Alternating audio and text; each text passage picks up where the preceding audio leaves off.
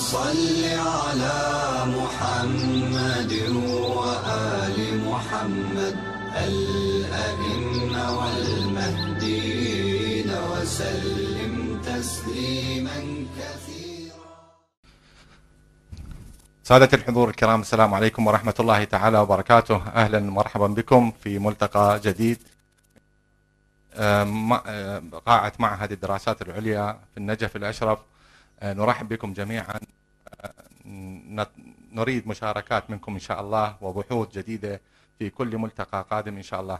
اليوم آه، سنأخذ بحثا جديدا من الأخ الأستاذ آه، بشار باقر.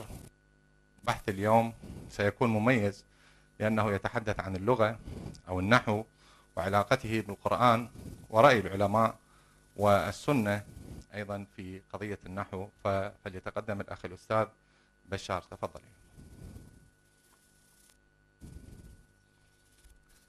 حياك الله أستاذ بشار كيف الحال؟ أولا أنا يعني آه، عرفت أنك آه، متخصص نعم. آه، ماجستير لغة وأيضا تمارس التدريس في جامعة الأعفر يعني في قسم النحو. تخصص وهذا تخصص طبعا اليوم يعني إحنا اولا يعني الموجودين اليوم مشايخ ما شاء الله كلها من الحوزة ما أدري ما راح ما راح تخلص يعني. قد ترد عليك أسئلة من كل صوب وحدب. آه، النقطة اللي أحب أن أشير إليها آه، أستاذ بشار في طرحك للبحث تأخذ راحتك. نعم. يعني تطرح وتبين الفكرة آه، قدر ما تستطيع هل علاقة النحو بالقرآن علاقة سلبية إيجابية؟ لا أدري طبعا هذا ستبين للأخوة آه، السادة الحضور وسوف أيضا يتفاعلون معك في الأسئلة تفضل أستاذ بشار حياك الله السلام عليكم ورحمة الله وبركاته. بسم الله الرحمن الرحيم. اللهم صل على محمد وآل محمد الأئمة والمهديين وسلم تسليما كثيرا. طبعا بداية لا يخفى علينا مدى أهمية الموقع الذي يشغله خليفة الله فهو الدين كله والأصل الذي تنبثق منه العقائد والأحكام. لأن من عرف خليفة الله فقد عرف الله وعرف رسله وعرف ملائكته واليوم الآخر ومن جهله فقد جهل الكل. وهذا الأمر يؤكده الإمام الصادق صلوات الله وسلامه عليه في قوله كما جاء في الرواية ثم أخبرك أن أصل الدين هو رجل وذلك الرجل هو اليقين وهو الإيمان وهو إمام زمانه.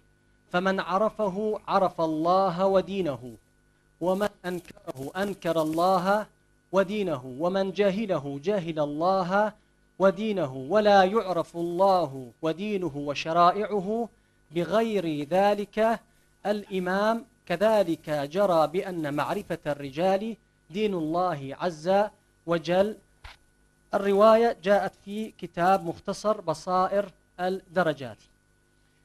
إذا كان الإيمان بخليفة الله بهذه الدرجة من الأهمية والخطورة إذا لا بد من وجود قانون يقود الناس إلى معرفة هذا الرجل الإلهي ويميزه عن غيره من المدعين لهذا المنصب الجليل زورا وكذبا وبهتانا.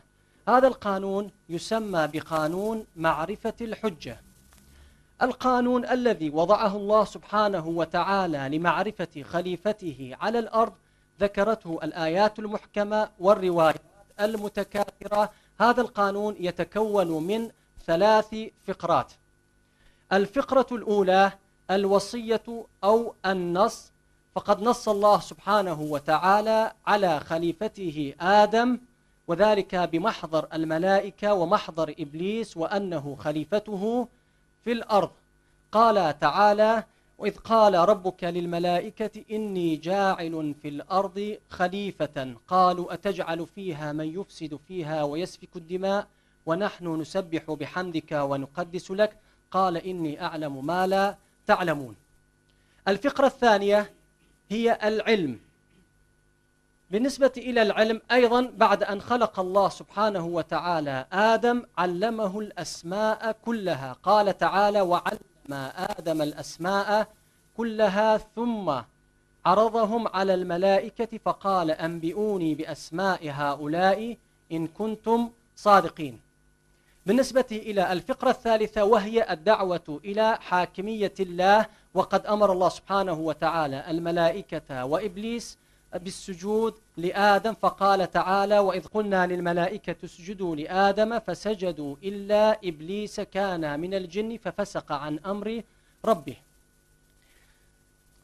واليوم نجد أن العلماء غير العاملين يبالغون في تقديس قواعد النحو وتعظيم مكانتها فجعلوها ميزانا يوزن به كلام المعصوم ودليلا يتعرفون به على خليفة الله وطريقا يشخصون من خلالها صاحب الدعوة الإلهية الحق فجعلوها قانونا يحاكم القرآن ويحاكم كلام الأنبياء والأوصياء صلوات الله وسلامه عليهم. فأنزلوها بذلك منزلة القوانين التي يجب على خليفة الله أن يلتزم هذه القواعد وهذه القوانين. وعدوا الخروج على هذه القواعد نقصا في الكمال بل وطعنا في العصمة. وكأن المعصوم بحسب نظرية هؤلاء العلماء هو الممتنع من مخالفة قواعد النحو. كأن المعصوم هو من عصم من مخالفة قواعد النحو. بالنسبة إلى دور اللغة في الحياة اللغة يكمن دورها في إنشاء اتصال بين المتكلم وبين السامع كما يقول علم اللغة الحديث. والغاية من اللغة إيصال فكرة أو معنى وهو يتحقق باستعمال الفرد اللغة أو اللهجة المتعارفة بين أفراد بيئته. لذلك يقول الدكتور إبراهيم أنيس في تعريف اللغة بأنها نظام عرفي لرموز صوتية يستغلها الناس في الاتصال. يستغلها الناس في الاتصال بعضهم ببعض. فالإنسان يكتسب لغته من البيئة التي يعيش فيها. والإمام طبعا كونه فردا من أفراد هذه البيئة يكلم قومه باللغة الدارجة واللغة المتعارفة بينهم. وهذا ما يؤكده القرآن الكريم يقول تبارك وتعالى وما أرسلنا من رسول إلا بلسان قومه ليبين لهم. وما أرسلنا رسول إلا بلسان قومه ليبين لهم. إذا يكفي المعصوم أن يوصل الرسالة التي يحملها إلى الناس ولا يلزمه على الإطلاق أن يراعي ما توقع الناس على تسميته بالأرقى والأفصح والأفضل وما إلى ذلك. ويكفي في إثبات بطلان أن قواعد النحو يحاكم بها القرآن والمعصومون أن القرآن الكريم خالف هذه القواعد في موارد كثيرة القرآن الكريم خالف قواعد النحو في موارد كثيرة وهذا دليل على أن القرآن أن القواعد النحو لا تصلح لأن تكون ميزانا محاكمة المعصومين بهذه القواعد. طبعا الآيات التي خرجت على قواعد النحو هي كثيرة لكن نقتصر على ذكر البعض من هذه الآيات مراعاة للوقت. نذكر مثال لذلك القاعدة الأولى التي يذكرها النحاة يقولون المعطوف يتبع المعطوف عليه في الإعراب. بمعنى أن المعطوف عليه إذا كان مرفوعا يكون المعطوف أيضا مرفوعا. إذا كان المعطوف عليه منصوبا يكون المعطوف أيضا منصوبا وهلم جرا. يقول المبرد بهذا الصدد وهذه الحروف أي حروف العطف تدخل الثاني في الإعراب فيما دخلت فيه الأول وهو نفس المعنى الذي ذكرناه وأشرنا إليه في أن المعطوف يتبع المعطوف عليه في الإعراب لكن هل التزم القرآن بهذه القاعدة هي المسلمة عند النحاة؟ الجواب هو أن القرآن خالف هذه القاعدة في موارد وليس في مورد واحد لكن نقتصر على ذكر مورد واحد فقط من هذه الموارد في قوله تعالى بسم الله الرحمن الرحيم إن الذين آمنوا والذين هادوا والصابئون. هنا المعطوف هو كلمة الصابئون. الصابئون جاءت مرفوعة بالواو لأنها جمع مذكر سالم. المعطوف عليه اسم إن اسم إن المنصوب. إذا القرآن الكريم هنا عطف مرفوع على المنصوب. عطف المرفوع وهو الصابئون على المنصوب والصواب بحسب قواعد النحاة أن يقول والصابئين. والصابئين لأن المعطوف عليه منصوب ويفترض أن يكون المعطوف أيضا منصوبا بحسب القواعد التي ذكروها. نأتي الآن إلى ذكر الموضع الثاني من المواضع التي خالف فيها القرآن قواعد النحو. تقول القاعدة النحوية تمييز الأعداد من أحد عشر إلى تسعة وتسعين مفرد منصوب بمعنى المعدود الذي يأتي بعد العدد يكون بصيغة المفرد ولا يجوز جمعه عند جمهور النحاة. هذه هي القاعدة النحوية التي يذكرها النحاة. القرآن الكريم خالف هذه القاعدة في مورد في قوله تعالى وقطعناهم اثنتي عشرة أسباطا.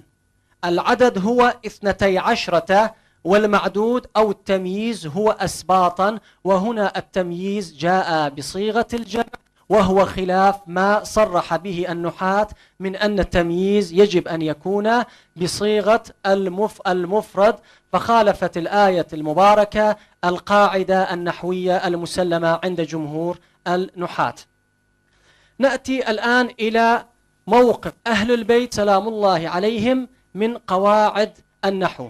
طبعا موقف أهل البيت لا يختلف عن موقف القرآن الكريم تجاه القواعد النحوية ونذكر لذلك نموذجا واحدا في قوله تعالى ولقد ولقد نادانا نوح فلنعم المجيبون. نأتي إلى الرواية التي بينت قراءة الإمام الصادق سلام الله عليه لكلمة نوح الواردة في الآية المباركة. عن محمد بن مسلم قال قرأ أبو عبد الله سلام الله عليه ولقد نادانا نوحا ولقد نادانا نوحا قلت نوح ثم قلت جعلت فداك لو نظرت في هذا أعني العربية فقال دعني من سهككم. هنا الإمام الصادق صلوات الله وسلامه عليه قرأ كلمة نوحا بالنصب بالرغم من كون كلمة نوح هنا فاعل ولقد نادانا نوح نوح هو الفاعل وهو الذي قام بالنداء فالإمام سلام الله عليه هنا نصب الفاعل. هنا تنبه الناقل أو الراوي للرواية لهذه المخالفة النحوية فأشار إلى الإمام سلام الله عليه بتعلم قواعد النحو. الإمام عليه السلام أجابه إجابة بين فيها قيمة ومنزلة هذه القواعد. فقال سلام الله عليه دعني من سهككم بمعنى أنه شبه قواعد النحو السهك والسهك هي الرائحة الكريهة والنتنة. نأتي إلى موقف أو الروايات الواردة في كتب السنة والتي خرجت على قواعد النحو. هناك أيضا في كتب ومصادر السنة العديد من الروايات التي خالفت قواعد نذكر من ذلك موردا واحدا. يقول النحاة بأن الأداة إن من الأحرف المشبهة بالفعل تنصب الأول وترفع الثاني. الآن نأتي إلى هذه الرواية الواردة في كتاب السنن الكبرى وكتاب الديباج على صحيح مسلم لنرى ما إذا كانت الرواية وافقت هذه القاعدة النحوية أم خرجت عليها. قال رسول الله صلى الله عليه وسلم إن من أشد الناس عذابا يوم القيامة المصورون. هنا كلمة المصورون اسم إن المصورون اسم إن وجاءت هذه الكلمة مرفوعة والصواب بحسب قواعد النحاة أن يقول المصورين والسبب كما ذكرنا لكون اسم إن فخالفت الرواية الواردة القواعد التي ذكرها النحاة. لم يقتصر الأمر على القرآن وعلى السنة في مخالفتهم لقواعد النحو بل العلماء أيضا خرجوا على قواعد النحو في كثير من الموارد. نذكر نموذجا لذلك القراء السبعة والعشرة. القراء السبعة والعشرة أيضا لديهم مخالفات عديدة وكثيرة لقواعد النحو بل وحتى دخلوا في صراعات مع النحاة. الموارد التي خالف فيها القراء السبعة والعشرة قواعد وهي كثيرة لكن نقتصر على ذكر مورد واحد في قوله تعالى وكذلك ننجي المؤمنين. هنا قرأ عاصم وهو أحد القراء السبعة قرأ نجي نجي المؤمنين بجيم مشددة. يقول الواحدي صاحب التفسير الوسيط يقول وجميع النحويين وجميع النحويين حكموا على هذه القراءة بالغلط وأنها لحن. إذا قراءة سبعية يصفونها بأنها غلط ولحن والسبب كون هذه القراءة خرجت على قواعد النحات كذلك أيضا الشعراء كثير من أشعارهم القواعد النحوية. أيضا نذكر لذلك نموذج واحدا يذكر البغدادي في كتابه خزانة الأدب أن عبد الله بن إسحاق الحضرمي وهو أول من بعج القياس وبعج النحو ووضع القياس في النحو اعترض على الفرزدق الشاعر المعروف قوله وعض زمان يا ابن مروان لم يدع من المال إلا مسحة أو مجلف. مسحة أو مجلف. هنا قال الحضرمي للفرزدق بما رفعت أو مجلف. أجابه الفرزدق قائلا بما يسوءك وينوءك.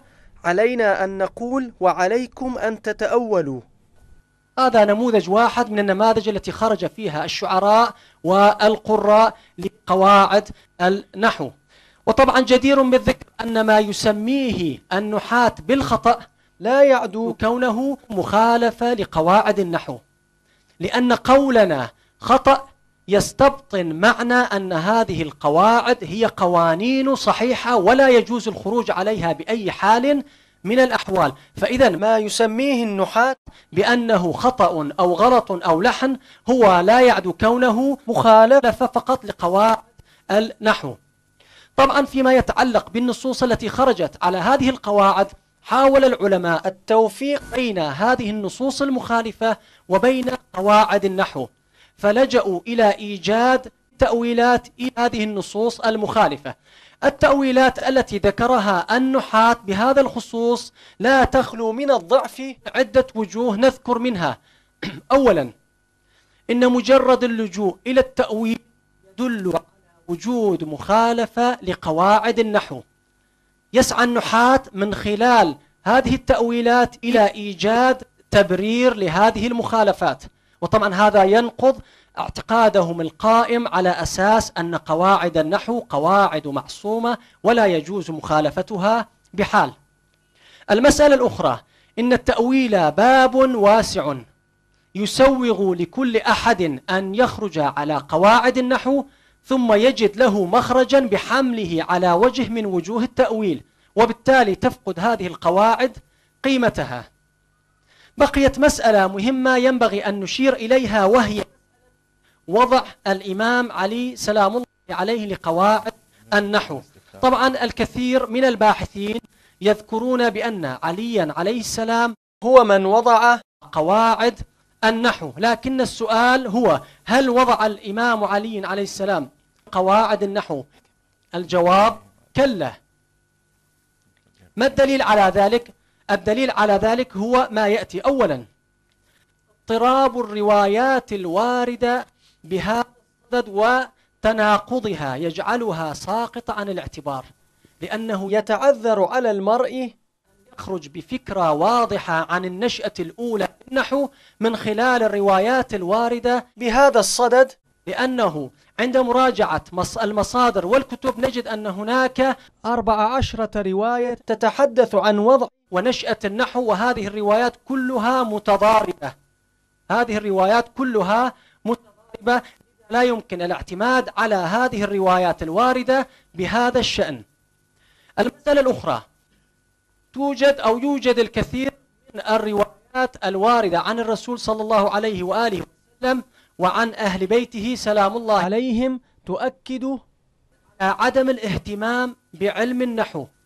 وأكدوا أن ما يستحق بذل الوقت والجهد في سبيل تحصيله هو علوم الكتاب والسنة ومحال أن يتخذ الرسول ويتخذ أهل البيت سلام الله عليهم موقفا معارضا لعلم أسسه الإمام علي سلام الله عليه. نذكر لذلك نموذجا واحدا وهو رواية الإمام الصادق سلام الله عليه قال من انهمك في طلب النحو سلب الخشوع. الدليل الآخر يفترض في العلم الذي يضعه الإمام علي سلام الله عليه أن يتصف بالشمولية والتكامل. لكن ما نراه في النحو هو المزيد من الخلافات والمآخذ والثغرات والتناقضات كلها ناجمة عن الاستقراء الناقص للغة. أضف إلى ذلك مخالفة القرآن الكريم والروايات لقواعد النحو.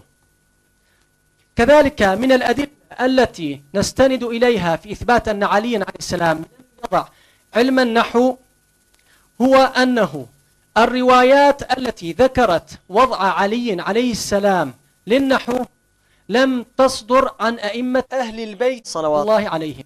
كل الروايات التي وردت بهذا الشأن إنما جاء عن طريق غيرهم. ولو كان الإمام علي عليه السلام هو من وضع قواعد النحو لورد ذلك على لسان أئمة أهل البيت الذين هم أدرى بما في البيت.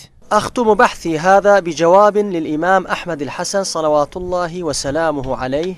في جوابه لسؤال وجه إليه بهذا الخصوص كما ورد في كتاب الجواب المنير في الجزء الثالث السؤال 236 هذا نص السؤال. سيدي أنكرت تدريس اللغة العربية والنحو. لكن ماذا عما روي عن أمير المؤمنين عليه السلام في تعليمه النحو لأبي الأسود الدؤلي؟ فجاء جوابه سلام الله عليه. لم أنكر أو أمنع أحدا من دراسة اللغة العربية. وهناك أنصار هم أساتذة جامعيين ويدرسون اللغة العربية.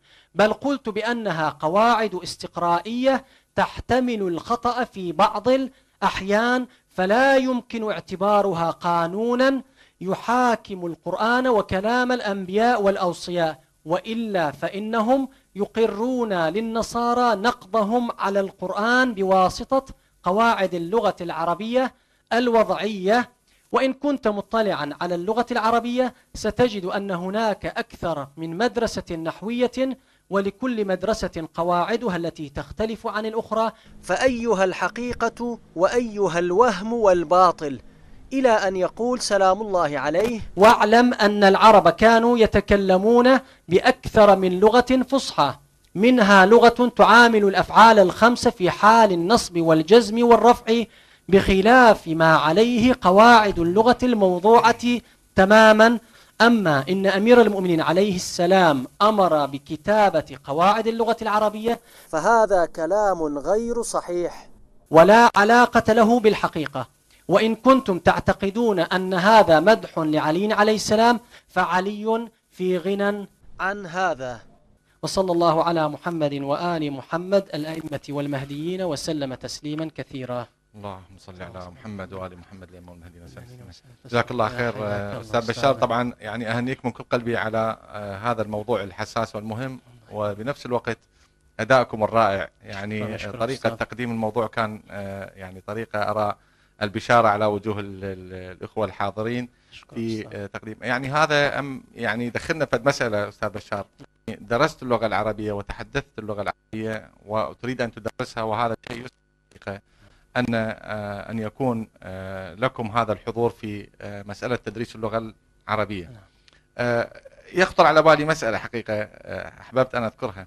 يا ترى هؤلاء الذين يقرؤون الأدعية يعني عندنا مثلا الصحيفة السجادية الذين يقرؤون الأدعية يقرؤونها باللغة الفصحى آه، آه، يا ترى هؤلاء الذين لا يعرفون أن يقرؤون باللغة الفصحى ويقرؤون في الصحيفة السجادية هل سيقبل الله من هؤلاء أم من هؤلاء؟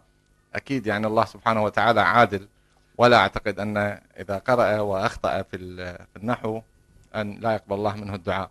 لمست من خلال البحث أيضا أنك آه، تعرضت إلى أن النحو قد خالفه القرآن في مواضع متعددة. فيا ترى آه، هل نحو حجة على القرآن أم القرآن حجة على النحو؟ ما لا تقل يفترض أن يكون القرآن هو حجة على النحو. أحسن. لكن ما نراه هو خلاف ذلك. نعم. أنهم جعلوا قواعد النحو هي الحاكمة على القرآن بل وعلى المعصومين أيضا. نعم. لكن الأصل أنه عندما ترجع إلى أقوال النحاة تجدهم يقولون بأنه من أفصح النصوص هو القرآن الكريم. نعم. أفصح نص وردنا هو القرآن الكريم. لكن عندما ترجع إلى اعتمادهم على نصوص القرآن الكريم في استنباط أو في استقراء القواعد النحوية تجد أن القرآن يأتي بالمرتبة الثانية. نعم. اعتمادهم كان بالدرجة الأولى على الأشعار لكن بعد ذلك يأتي القرآن الكريم ثم بعد ذلك تأتي السنة النبوية. نلمس لم نلمس في التاريخ أستاذ بشار يعني أن احدا من آه، عتاة قريش أو جبابرتها أو كبار قريش. آه، حاكم النبي يعني آه، صلوات الله عليه وآله وهو الذي جاء بالقرآن.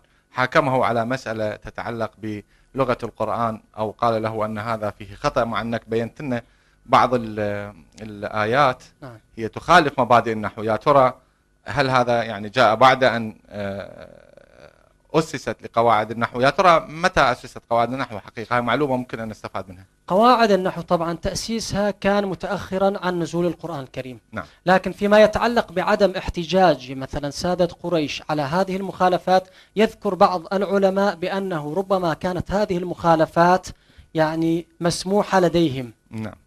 لم تكن هناك قواعد؟ لم, لم حتى في حال عدم وجود قواعد يعني هذه المخالفات القواعد النحو يعني لم يكن بالأمر الممنوع. طيب هم قالوها من الأخير ائتي بقرآن غير هذا أو بدله. الظاهر نعم. القرآن كله ما عاجبهم فالقضية ما قضية نحو قدر ما اللي فهمنا من جنابك. طيب أيضا ممكن أن نأخذ أسئلة من الأخوة الحضور طالما أن الموضوع والأخوة أكثرهم أساتذة أيضا في ال- الحوزة ولهم أيضا رأي فيما طرحته. إذا أكو أحد من الأخوة عنده سؤال؟ نعم أستاذ شيخنا آه، ممكن أستاذ بالمايك؟ نسمع من ال- الأخ الشيخ عارف. أعوذ بالله من الشيطان الرجيم. بسم الله الرحمن الرحيم. بالحقيقة هي مداخلة وبعدين سؤال بسيط. إن شاء الله. المداخلة أنه في رواية محمد بن مسلم. محمد بن مسلم رغم أنه هو كان أشار على الإمام بالنظر في العربية لكنه لم يشك ولم يتردد في أن الإمام الصادق هو حجة الله ومعصوم. إذا ثابت ولا ولا شك الطبقة التي من بعده من الرواة اللي نقلوا الحديث كان عندهم مسلم أن هذه القضايا لا تؤثر على عصمة المعصوم. نعم. بدليل هو لم يكن شاكا وكان مؤمنا بالإمام محمد بن مسلم معروف من أصحاب الإجماع ومن الثقات وحواري الإمام الصادق عليه السلام. السؤال آه، أستاذنا العزيز قول الصادق عليه السلام اعربوا كلامنا فإننا قوم فصحاء فصحاء هل لهذا الحديث علاقة بقواعد اللغة أو هو يعني كان يعنيها أم لا ليس له علاقة ولا يعنيها اعربوا كلامنا؟ هذه الرواية أشار إليها الدكتور الديراوي في بحثه القيم بحث حول العصمة. أشار إلى أنه هذه الرواية تحتمل احتمالات هذه الاحتمالات أنه بينوا أسرار وغوامض كلامنا بأننا قوم فصحاء. الفصاحة هو البيان البيان وإظهار الشيء. فهنا الإمام سلام الله عليه يشير إلى أن نقوم لأنه الإمام سلام الله في روايات أخرى ذكر بأننا علينا أن نلقي الأصول وعليكم بالتفريع. فهنا الإمام يبين ويوصي أصحابه بأن يقوموا ببيان وتوضيح الأسرار وغوامض كلامهم. سلام الله عليهم للآخرين. أما أن يكون المقصود به هو الإعراب فالإمام الصادق سلام الله كما ذكرنا هو نفسه خالف قواعد النحو فكيف يأمر أصحابه نعم، بتطبيق قواعد النحو والالتزام بها حرفيا. أحسنت. إيه، إذا كان أيضا هنالك من الإخوة من يسأل أكو عندنا بعد سائل؟ الاساتذه الإخوان. نعم الشيخ صادق تفضل. أعوذ بالله من الشيطان الرجيم. بسم الله الرحمن الرحيم. اللهم صل على محمد وآل محمد الأمة والمهدين وسلم تسليما كثيرا. لا شك أن اللغة هي ال- الوسيلة اللي وسيلة التفاهم ما بين العقلاء. وعادة عندما آه، آه، يأتينا أو تأتينا مسألة من متكلم وإذا كان المتكلم حاضرا وحصل شبهة في هذه المسائل أو- في المعاني التي تكلم بها أو اللغة التي تكلم بها المتكلم نرجع إليه في إحكام هذه المسألة. ولكن المسألة والمشكلة تأتينا في حال أنه المتكلم في زمان والسامع في زمان آخر. يعني أقصد المنقول عن المتكلم. هنا تبقى المشكلة. كيف تفهم أو ما هي أو البديل الذي ممكن أن نستعيض عنه في حال لو أسقطت القواعد اللغوية كيف يفهم أنه المتكلم بالخصوص إذا كان هو في زمان والسامع في زمان آخر أو كما قلت المنقول له المنقول إلينا من زمان آخر؟ كيف آه، نحل هذا هذه المشكلة؟ طبعا بالنسبة إلى ال- البحث الذي ذكرته هو لا يعني إسقاط قواعد النحو. طبعا هذه مسألة. أنا لم أشر إلى مسألة إسقاط قواعد النحو تماما.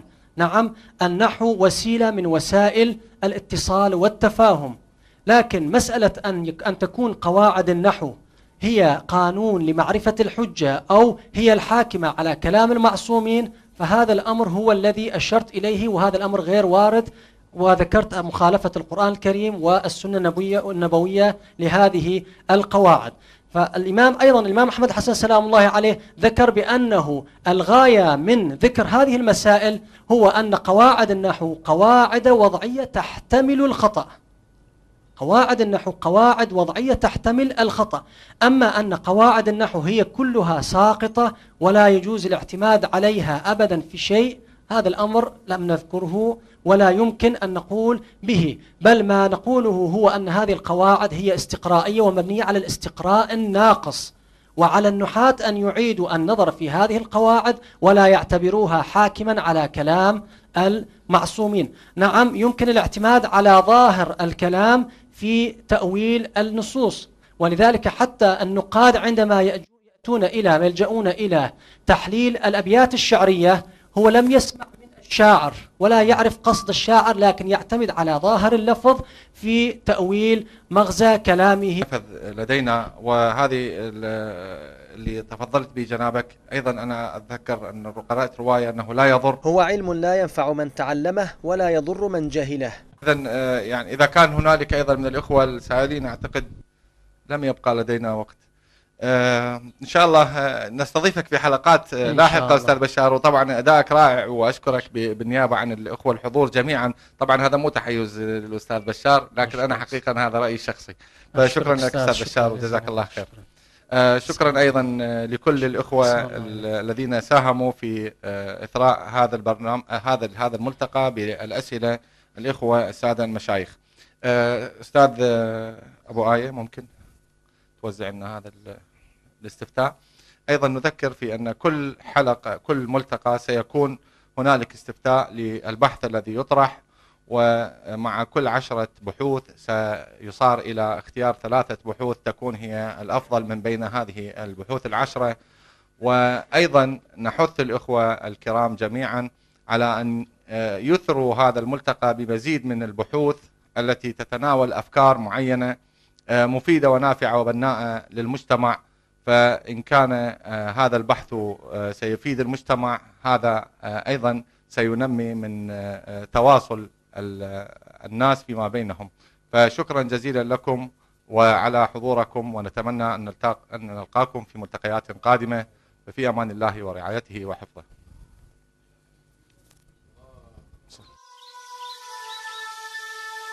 اللهم صل على محمد وآل محمد الأئمة والمهديين وسلم تسليما